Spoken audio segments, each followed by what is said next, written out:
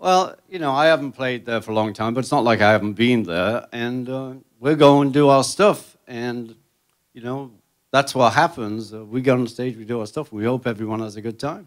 Because that's what it's about. You know, we're not doing this to be tortured.